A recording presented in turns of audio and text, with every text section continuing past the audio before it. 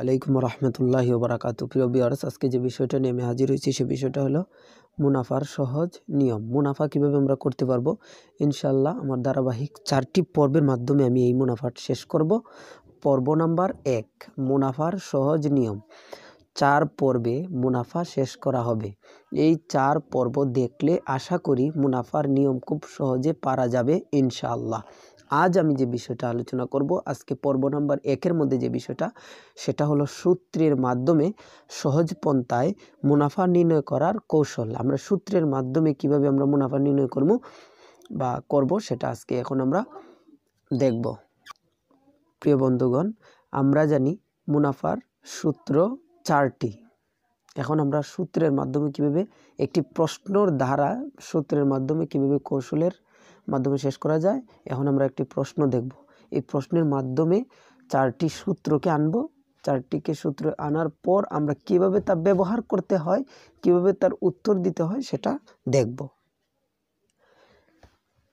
দেখুন বন্ধুরা, এখানের মধ্যে একটা প্রশ্ন আমরা আনলাম যে বার্ষিক পাঁচ পার্সেন্ট হার মুনাফায় তিনশো পঞ্চাশ টাকার চার বছরের মুনাফা কত? এখানে বার্ষিক পাঁচ পার্সেন্ট, এখানে হার তিনশো পঞ্চাশ টাকার চার বছরের মুনাফা কত?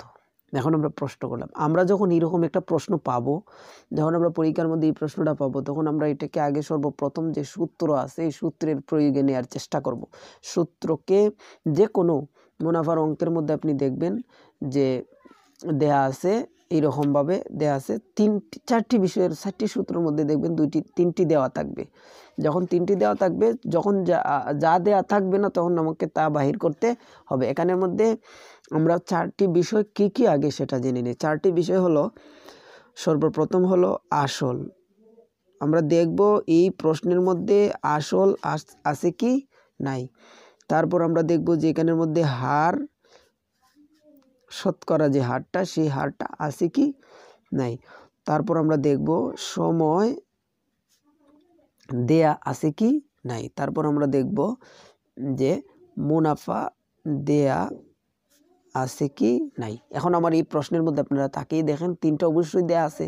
তিনটার মধ্যে প্রথমটা হলো যে পাঁচ পার্সেন্ট হার মুনাফা। যখন হার বলা হয়েছে, তখন পাঁচ পার্সেন্ট মানে একশো ভাগের পাঁচ। যখন তিনশো পঞ্চাশ টাকার কথা বলা হয়েছে, তখন এটা আসল। তাহলে আসলটাও দেয়া আছে, হারও দেয়া আছে চার বছরের সময়টাও দেয়া আছে। এখন মুনাফা কত? এখন মুনাফাটা দেয়া নাই, মুনাফাটা কত? এখন আমাকে যদি আমি এই এই যে চারটা জিনিস আছে, যে আসল, হার, সময়, মুনাফা, এই যে চারটি বিষয় আছে, এই বিষয়গুলোর চারটির চারটি সূত্র আছে। যেমন বন্ধুগণ দেখেন চারটি চারটি কি সূত্র আছে? আমরা যদি সর্বপ্রথম মুনাফার সূত্রটা লিখতে যাই, আমি এখন সূত্র লিখতেছি, মুনাফা সমান আসল ফুরন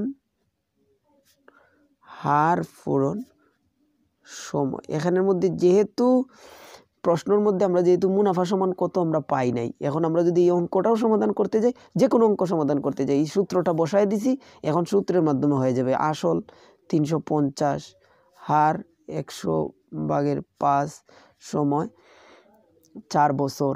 এই যে এখানের মধ্যে এইটা হয়ে গেল শূন্যের সাথে শূন্য কাটা। দুই দুগুণের চার, পাঁচ দুগুণের দশ, পাঁচ সাতা পঁয়ত্রিশ। পাঁচ সাতা পঁয়ত্রিশ পঁয়ত্রিশ দুগুণে সত্তর টাকা। এটার তিনশো পঞ্চাশ টাকার চার বছরের মুনাফা সত্তর টাকা। এখন আমরা মুনাফার সূত্রটা জানার কারণে আমরা এটা কি করে নিছি? বাহির করে নিছি। এখন আমরা যদি হারের সূত্র জানি, তাহলে হার বাড়ি করতে পারব। হার সমান আমরা জানি মুনাফা বাই আসল ফুরন সময়। এটা হলো হারের সূত্র। এখন আমরা যদি বলি সময়, সময়ের সূত্র আমরা কি বলব? সময়ের সূত্র বলব মুনাফা বাই মুনাফা বাই আসল পূরণ হার, আসল ইন্টু হার। এখন সময়, দেখেন এখানের মধ্যে মুনাফা, এখানের মধ্যে মুনাফা। নিচে যা এখানের মধ্যে সময় আছে, এখানে শুধু সময় থাকবে আসল পূরণ হার থাকবে। এখন আমি যদি আসলের সূত্র লিখতে যাই, যে আসল সমান কত? যে আসল সমান মুনাফা বাই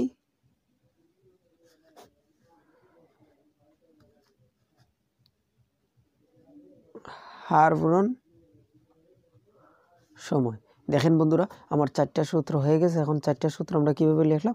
দুইটা, তিনটা, এই দেখেন, চারটা সূত্র হয়ে গেছে। এই চারটা সূত্র কীভাবে প্রয়োগ করা হয়? প্রথমটা আমরা প্রয়োগ দেখাইলাম। এখন দেখেন বন্ধুরা, এইভাবে প্রত্যেকটা প্রশ্ন আপনাকে যদি বলা হয় যে বার্ষিক পাঁচ পার্সেন্ট হার মুনাফায় তিনশো পঞ্চাশ টাকায় এখন আমরা সময়টা চার বছর না দিয়ে মুনাফাটা যদি আমরা দিই যে মুনাফাটা কত? সত্তর টাকা সত্তর টাকা মুনাফা সময়টা আমরা চার বছর বের করতে পারব। এই অঙ্ককে বারবার ঘুরাইতে পারবেন ঘুরাই আপনি ট্রাই করতে পারেন। পাঁচ পার্সেন্ট না দিয়া বার্ষিক শতকরা হার মুনাফায় তিনশো পঞ্চাশ টাকায় চার বছরের মুনাফা সত্তর টাকা হলে হার কত? মানে এইভাবে প্রশ্নগুলোকে আপনারা বিশ্লেষণ করতে পারেন। ইচ্ছা করলে এইভাবে মুনাফার যত অঙ্ক আসবে, এই সূত্রের সাহায্যে, সরল মুনাফার যে সূত্রটা আছে, এই সূত্রের সাহায্যে আপনি সমাধান করতে পারবেন। এই যে আমি চারটা সূত্র আপনাদের সম্মুখে উপস্থাপন করলাম, এই চারটা সূত্রের মাধ্যমে আপনারা ইচ্ছা করলে সমাধান করতে পারেন। যে কোনো অঙ্ক, যে কোনো অঙ্ক আপনি এই, এগুলাকে সমাধান করতে পারেন ইনশাআল্লাহ। আর এগুলার ইংরেজিতে নাম আছে। এগুলার ইংরেজিতে নামগুলোও আপনারা অবশ্যই দেখেন। আমি একটু ইংরেজিতে নামগুলো দিয়ে দিই।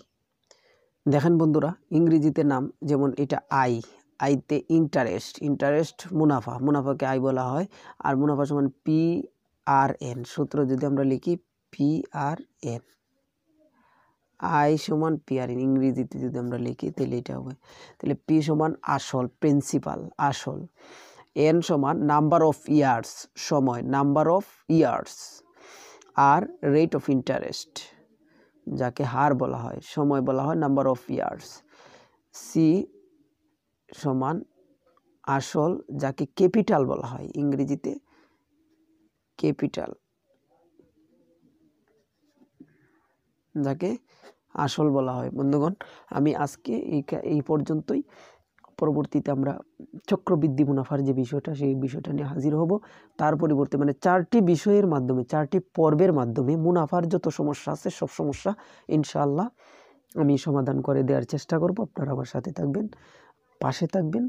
ইনশাআল্লাহ আমি আপনাদেরকে মুনাফার যে সমস্যা আছে, সবগুলা ইনশাআল্লাহ সমাধান করে দেব। পরবর্তীতে আমি চক্রবৃদ্ধি মুনাফা নিয়ে আসব। তার পরিবর্তীতে আমি কিছু অঙ্ক মুনাফার কিছু অঙ্ক সমাধান করে দেখাবো ইনশাল্লাহ তার পরবর্তীতে আমি কিছু, এই সৃজনশীল মুনাফার, সৃজনশীল নিয়ে আপনাদের সম্মুখে হাজির হব। আপনারা অবশ্যই বুঝবেন, বোঝার চেষ্টা করবেন। ইনশাআল্লাহ পাশে থাকবেন। যারা আমার চ্যানেলটাকে এখনও সাবস্ক্রাইব করেন এই ভালো লেগেছে, অথচ সাবস্ক্রাইব করেন না আপনারা সাবস্ক্রাইব করে সাথে থাকুন। ইনশাআল্লাহ ভালো কিছু দেওয়ার উপহার দেওয়ার চেষ্টা করব। আসসালামু আলাইকুম ওরহমতুল্লাহি ওবরাকাত